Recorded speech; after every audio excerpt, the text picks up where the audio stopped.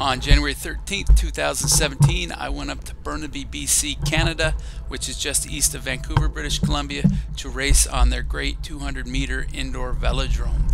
This was my first time racing on the track. I had previously done a clinic here in mid-December, which gave me many of the nuances I needed to ride the track safely. But in hindsight, I wish I would have gone up and been able to do the learn to race uh, clinic that they put on.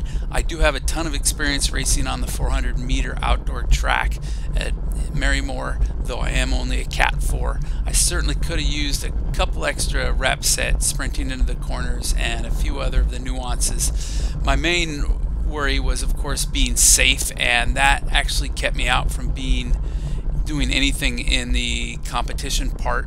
But by the end of the races that I did, I felt that I could actually race well and my only excuse then was my lack of courage and my lack of fitness. That said, a uh, really great facility, really enjoyable. Uh, you do have to be careful when you're going around those corners to make sure you're carrying speed. If you go less than 18 miles an hour, you are likely to fall and slide down the track.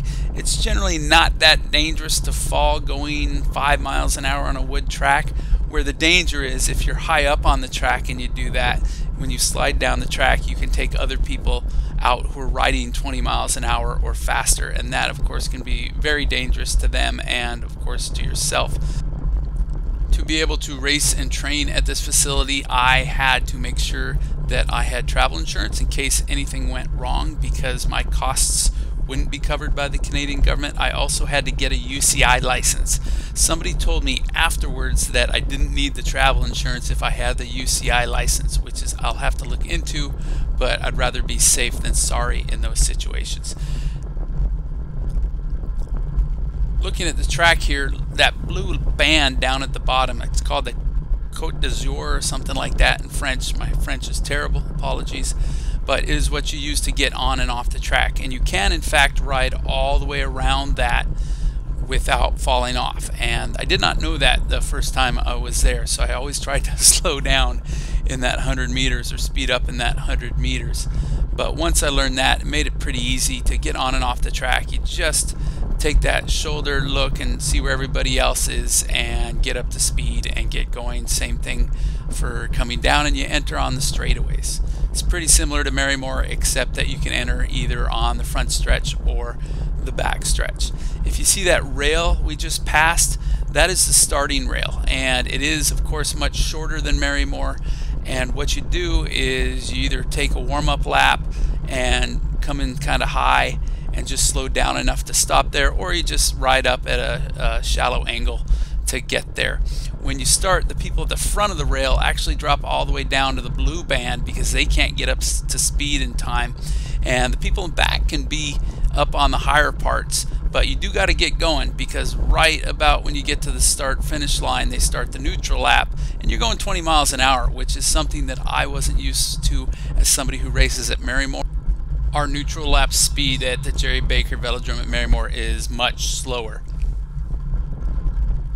There is a nice document they have when you fill out your waiver that you also sign that tells you really what you need to know about riding on the track and how to be safe. And of course, hopefully, people on the track are communicating with you while you're riding and while you're racing as well. If you are coming up to this track to race, you do need to bring rollers. There isn't really anywhere on the infield that you can warm up while other races are going on. I did make the mistake of leaving my rollers at home, but that will not happen again. One of the many cool things about racing this track is that they have an electronic starting gate for a single rider. Those starting gates are quite expensive, so there isn't one at Marymoor, so it's nice there's one up here. I used it a couple times when I was up for the clinic and got some video of it, so I will link that video down in the description. Coming up here, you will see me trying to get some sprints in to work on, well, both getting my legs warmed up and getting the skill set of being able to sprint on a track that has much tighter corners than I am used to. And it really was something that I took for granted that I could do. And in fact, I wasn't very good at it and even felt that I was somewhat dangerous at it when I was racing my first race, which was at Keirins. So I let people get by me, though they probably would have gotten by me pretty soon thereafter anyway, and just practice sprinting the corners.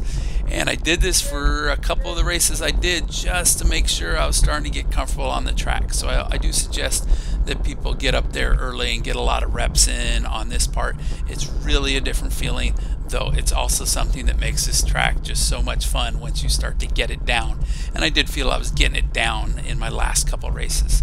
There is a couple of differences about where you put your head and of course on this track your neck gets a little more sore and your back might get a little more sore but nothing you can't get used to and train for and then of course there's getting off the track which initially scared me uh, it's much more difficult than at the Jerry Baker Velodrome where we have tons of space on a 400 meter track that said, after you do it once or twice, it's really simple. Just make sure you don't hit that concrete apron or you will slip in the corner. Same if you cut a hard angle on that sport court. I do hope everybody from Seattle gets up to this track. It's a lot of fun. The people up there are great and it's well worth doing.